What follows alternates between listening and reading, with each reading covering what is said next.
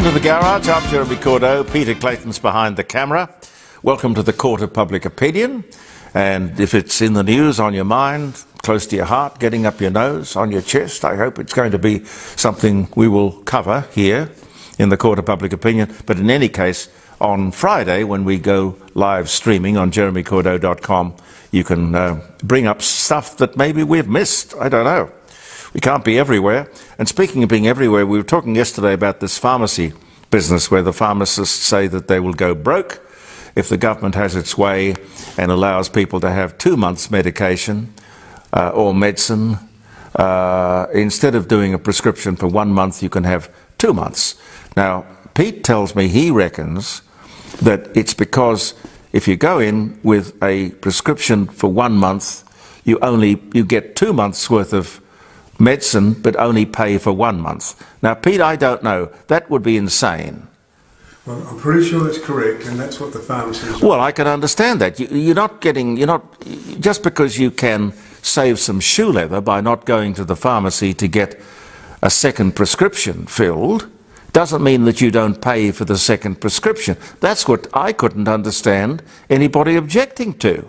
It was just a convenience thing. There's only one script now. It's one script, but for two months. I believe that's the case. But you would charge precisely what was being prescribed. One month would be a certain number of dollars, two months would be a certain number of dollars. You pay for the one script.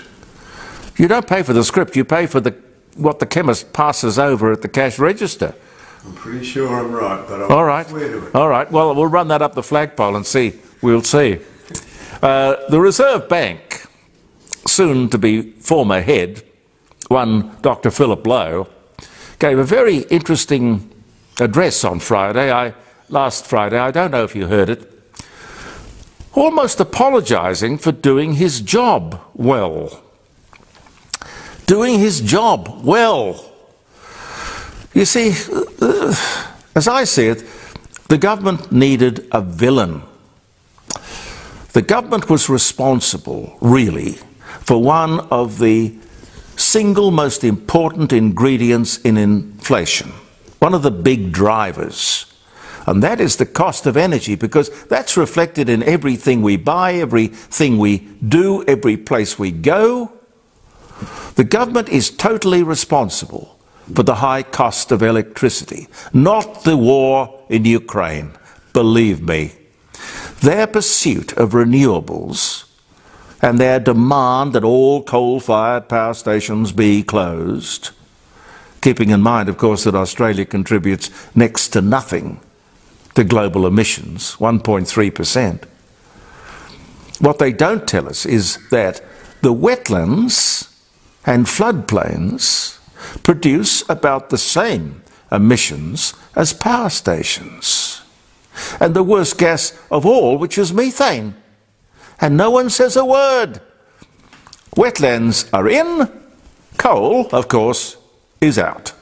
It is a stupid policy and mantra. And where is the media? Uh, taking its forelock and, I don't know, hoping for a good, secure job in the public service. I don't know what drives them. Certainly not curiosity or good journalism. It's not that these people are stupid. They're not. It is that they think we are stupid. Let's be clear. The Prime Minister and the Treasurer needed a villain. Let's blame the interest rates on Dr. Philip Lowe. Ah, not the high cost of electricity, which of course affects, as I said, just about everything. Our cost of living can mostly be attributed to the government's energy policy. No thought about the people, just the ideology. And as inflation rose, the man whose job it was to control became the diversion. He was going to be the punching bag for doing his job. And he went on doing his job, knowing that they'd set him up this way, suffering public odium, I mean. He has nothing to apologise for. Had he not lifted the interest rates, inflation would have got a lot worse. And the country would have been in more serious trouble. I don't understand why he didn't get a second term, and I'm quite sure that Dr. Lowe doesn't understand either. But we'll see how it unfolds. More than 100,000 people have crossed the English Channel in tiny boats since 2018. It's not long ago. 100,000 people. I mentioned in our live broadcast on Friday, jeremycordeaux.com, that 20 million people, asylum seekers, are on the move at any one time looking for a better place to live, and who could blame them? We've got to deal with this. We have to. The only reason we're not more affected is simply we've got a great big moat around us. Dealing with it means dealing with all of those tin pot despot dictators in Africa. And that will not be easy. They, along with some governments, not all, but some, do not care a damn about the people. But where is the United Nations, I wonder? Set up in 90, 1945 to look after things like this. This should be their job. For the average African, that place is a hellhole. There have been, according to my brief research, coups in seven countries. Military coups, mostly. That's in less than two years.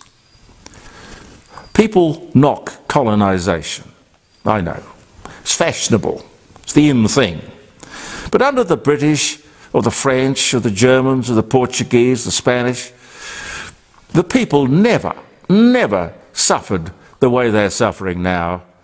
They were never involved in a mass exodus, risking their lives. You can imagine how desperate they must be to risk their lives.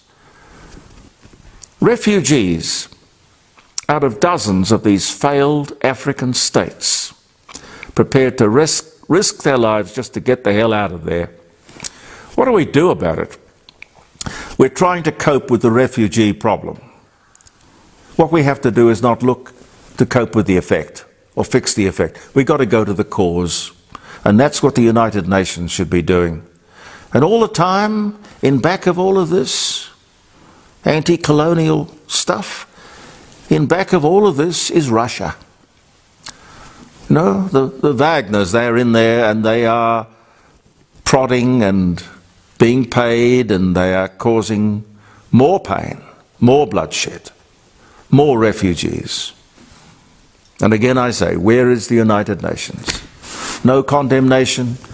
I mean, where is Penny Wong? I haven't heard Penny Wong say a word about any of this. Okay, it's not in our backyard, but it's still an important thing to talk about.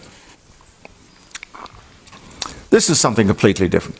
Change the subject altogether. I know this is not in the in the realm of overall realm of things important. Probably not very important at all. But when you look at the number of people in the entertainment business, it's a very big employer, one way or another. And you look at some of the stupid decisions that have been made, not by the industry, but again by government, both Liberal and Labor. Stupid decisions. A television license or a radio license was a license to either make money, if you were good at it, or, of course, lose money. All this new legislation that came in when they moved us to the digital world, the digital platforms, as they like to. I mean, I worked for a radio station briefly, and they didn't talk about the radio station, they talked about the platform. Stupid. It's a radio station. Platform rubbish. Anyway, the bait that the government put on the table, the incentive, was from having one or two radio stations, you could have eight. Oh, happy days! What could possibly go wrong? dozens of extra stations in every city, dozens of them, all for free. So now the audience could choose from hundreds of different stations around the nation, which didn't include the 200,000 radio stations worldwide that you could listen to on your smartphone. See? No thought. Too much choice. Too much choice. Confusing in the extreme. But even worse, the audience didn't grow, the choices did. The audience cake has been cut too many ways. They now find it hard to get a critical mass. Eight stations per license, same sized audience. Beware the government bearing gifts, I say. No one has a big enough slice of the cake to make any financial sense. Too much choice. At least with jeremycordeaux.com, and it's what we all think now, and I must admit I had to be convinced a little bit, being a bit of a Luddite, no, a lot of a Luddite, was the future. I'm now convinced it is the future. You can go to jeremycordeaux.com on Friday, and we're only beginning with one three hour program once a week. But you can go there and you can know exactly what you're getting open minded, open hearted, free speech, and opinions, of course. Opinions with which you will not always agree, but that's fine. But there will be no fence sitting. Uh, have I got time for one more? Yeah. An interesting thought, ladies and gentlemen. One that could revolutionize the world. If we could force the government to make inflation tax deductible, think about it. Inflation would disappear almost overnight. It would. What inflation does is to devalue our money. Clearly, that loss, I don't know, inflation 5 6%, should be deductible. We should be able to claim our losses, I would think. You see what I mean? If you have an investment earning, say, 3%, and the inflation rate is running at 6%, you have lost 3%. You haven't made any money at all. Yet you'll be taxed on the interest earnings of 3%. But in fact, you've lost 3%, thanks to the government. Now, that 3% that you've lost, or we've lost, should be tax deductible. Claim your losses. Have a think about it. Make inflation tax deductible. That could turn the world around because the government would not like its loss of revenue one little bit. yeah. I'm going to mount something of a campaign around that. We'll talk more about that on Friday. Thank you very much for being with us in the Court of Public Opinion. I'm Jeremy Cordeaux. Thank you very much for your support. I try to answer all the comments that come in on my dates. I got carried away. my trouble. My trouble is, of course, I, I talk too much, and I figure we don't have any time left. Some dates? We got time for dates? Okay.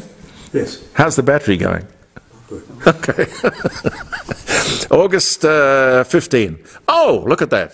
1308. 1308. My brother, Knights of St. John, conquer Rhodes. Wow. An honour to be amongst you, sirs. Uh, 1308, wow. Uh, 1937, Janet Mead, Adelaide girl. Janet Mead, Catholic nun, pop rock singer, The Lord's Prayer, born in Adelaide. Oh, she died in 19, no, in 2022. I didn't know that. But she was born in 1937 on this day. 1769, Napoleon Bonaparte, French military leader and emperor of France, was born in Corsica in 1769. Wiley Post, American aviator, first solo flight around the world, killed in a plane crash in Alaska. In oh, he's only 36. but he was killed on this day in 1935. Ben Affleck, American Academy Award winning screenwriter, Good Will Hunting, actor, all the rest, Armageddon, Pearl Harbor, BAFTA award winning director, born in Berkeley, California in 72. Macbeth, King of the Scots, slain in battle by his son, King Duncan. He was about 52 years old. 1057. Imagine being killed by your own son in battle. You'd think your kids would be on your side, wouldn't you? Hell's bells. Uh, Stieg Larsson, Swedish author, Girl with the Dragon Tattoo, very big selling book. I've never read it, but I know people who have and loved it, and the movie. Born in Sweden. He died in 2004, but he was born this day in 1954. Uh, Queen Mary of Scotland arrives in France at the age of six in 1548. The Beatles play to their largest crowd ever 55,000 people at the Shea Stadium, New York. Among those in attendance were his future wives, or the Beatles' future wives, Barbara Bach and Linda Eastman. That was 1965. American philanthropist and co chair of the Bill and Melinda Gates Foundation, Melinda Gates, born in Dallas, Texas in 1964 and Ignatius of Loyola co founds the Society of Jesus, the Jesuits, as in uh, the St. Ignatius School, 1534. And one more, oh, Jack Russell. Now, this is not the guy who named the dogs, is it? No. Jack Russell, English cricketer and wicket keeper.